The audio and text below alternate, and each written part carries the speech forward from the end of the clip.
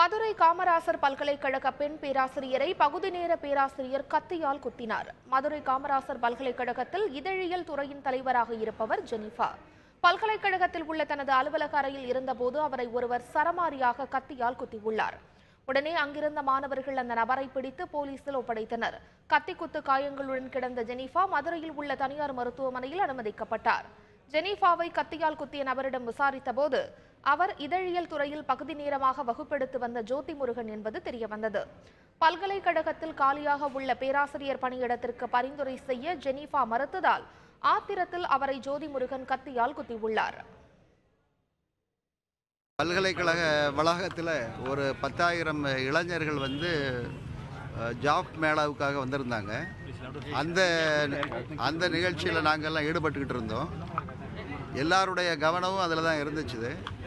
பத்தே கால் மணிக்கு ஒரு அதிர்ச்சி இவற்றும் தகவல் என்னென்னா மேடம் ஜெனீஃபா வந்து ஒருத்தர் வெளி வெளியாள் ஆள் ஒருத்தர் வந்து அட்டாக் பண்ணிட்டாரு அப்படின்னு ஒரு செய்தி கிடச்சிது. அதை விசாரிக்கிற பொழுது அந்த ஆள் இல்லாமல் இருக்கிற நேரமாக பார்த்து இவர் வந்து ஜோதி முருகன்ங்கிறவர் வந்து அவங்கள வந்து கத்தியால் தாக்கியிருக்கிறாரு. என்ன காரணம்னு கேட்கும் பொழுது நேற்றைய தினம் வந்து அதாவது தற்காலிக விரிவுரையாளர் வேலைக்காக ஒரு இன்டர்வியூ நடத்தியிருக்காங்க. அதை தொடர்ந்து வந்து இவருக்கு வேலை வந்து இவர் கேட்டு கேட்டு வந்து இவங்களை வற்புறுத்தி இருக்கிறாரு. பட் அவங்களால வந்து இவருக்கு வேலை கொடுக்க முடியல.